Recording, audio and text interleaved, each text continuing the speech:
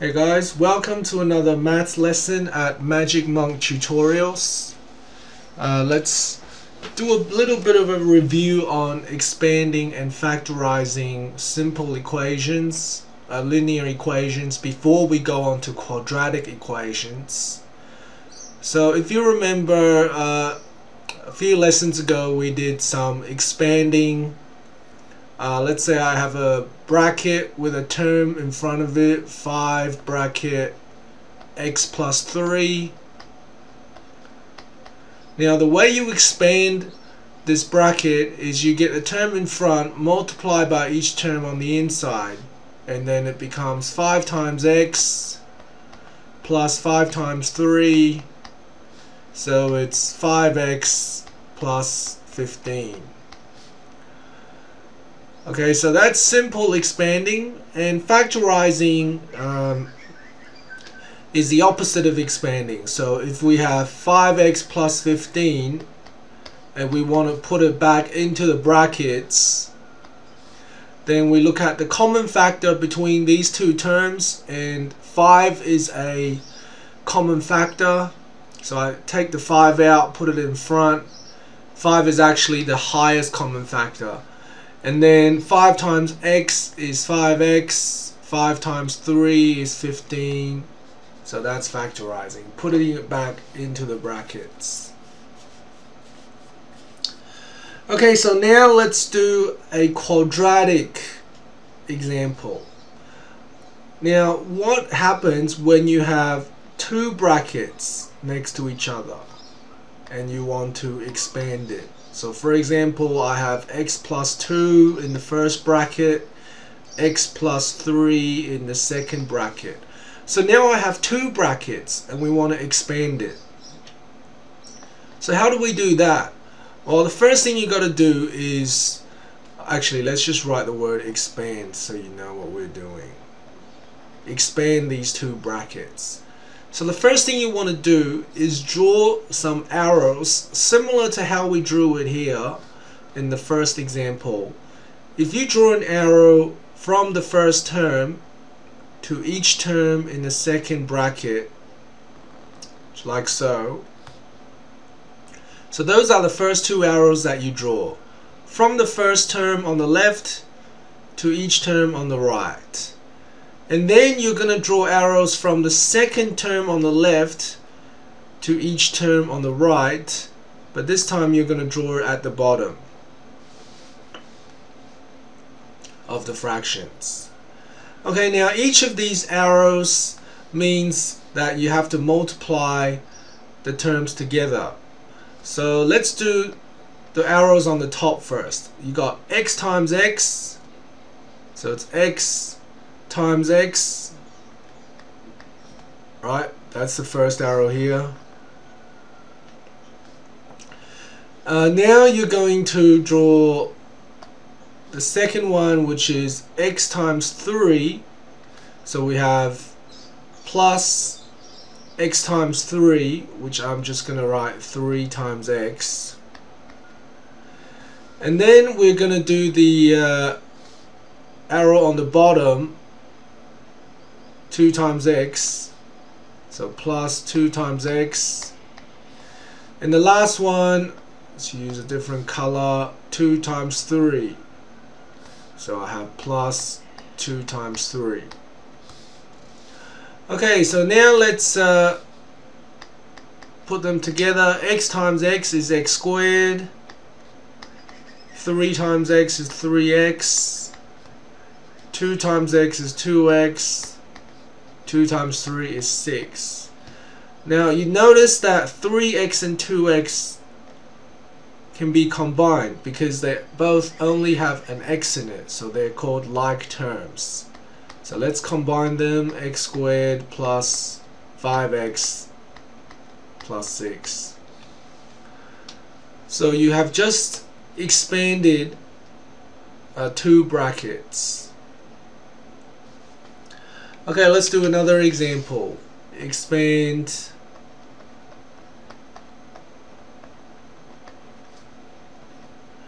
x plus 2 x minus 4. Okay, have a go at that. Come back when you're ready. Okay, so let's have a go. Starting from the first term, multiply each term on the right. So you have x squared time minus 4x and then you have 2 times x and 2 times minus 4 so that's plus 2x minus 8 okay so just a note here on why we have a minus sign there and there. It's because we have negative 4 minus 4 so x times minus 4 is minus 4x right? If you're not sure about how to multiply negative numbers, I do the tutorial for negative numbers and then come back. But basically, when you're multiplying two terms, if one of them is negative and one of them is positive, then the answer is negative. The same thing happening here, x times negative, sorry, 2 times negative 4 is negative 8, because 2 is positive, 4 is negative. Okay, so now we have x squared minus 4 plus 2 is uh, minus 2x minus 8. So these are all uh, expansions and you will see that after you expand two brackets you end up with an expression with x squared in it x to the power of 2. Now when that happens this is called a quadratic expression. So quadratic expression. Okay, so now we want to learn how to factorize quadratics. Which means we want to put this back into the brackets. Now we've already done this question here, uh, which means we know that the answer for this question is going to be x plus 2, x minus 4, right? Because we just expanded it previously to give us the quadratic expression. So we know that if we factorize the same quadratic expression, we're going to get the two brackets that we expanded in the beginning. But let's assume that we didn't know the answer. How will we get that? Now, what I like to use is called the box method. The box method of factorizing. And I would uh, encourage you to use this method until you're comfortable with factorizing quadratics. Uh, eventually after you're comfortable with it you might not need to draw the box anymore but I'd suggest you do this quite a few times before you do it without the box so the box method looks like this you're gonna draw a box like so and you're going to make four cells in this box right? Four quadrants, one, two, three, four. In the top left quadrant, you're going to put in x squared. In the bottom right quadrant, you're going to put negative 8. So the first term with x squared, you're going to put that in the bottom, in the top left box. And the term with no x, you're going to put in the bottom right box. And what you're going to do is you're going to think of two terms that multiply together to give you x squared. And that's going to be x times x, right? x times x is x squared. Now you think of two terms that multiply together to give you negative 8, but add together to give you the term in the middle, which is negative 2. So uh, it'll be negative 4 times neg uh, positive 2. Right, negative 4 times positive 2 is negative 8. And negative 4 plus 2 is negative 2. So negative 4 times x is negative 4x. 2 times x is 2x. So once you have filled in the box, you're going to get the diagonal terms top right, top left and bottom right and you're going to add these together to make sure that you have the term in the middle. So negative 4x plus 2x is negative 2x, which matches the term in the middle.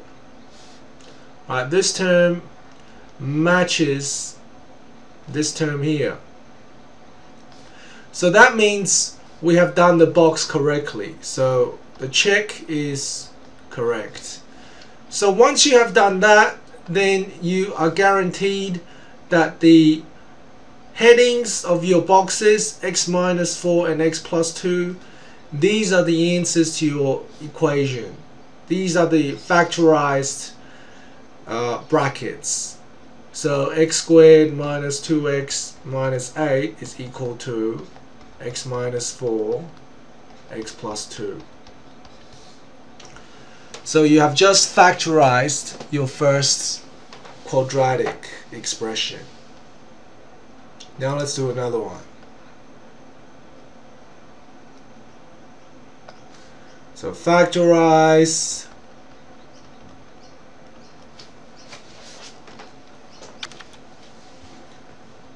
x squared plus 11x plus 28.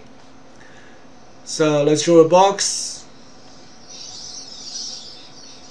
put the x squared in the top left hand box, put the 28 in the bottom right hand box.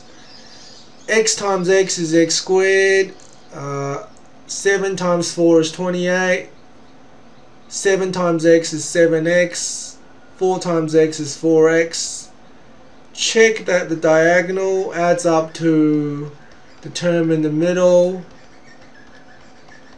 Yes, it does. So therefore the answer is x plus 7, x plus 4. Right, these are your answers. These are your answers.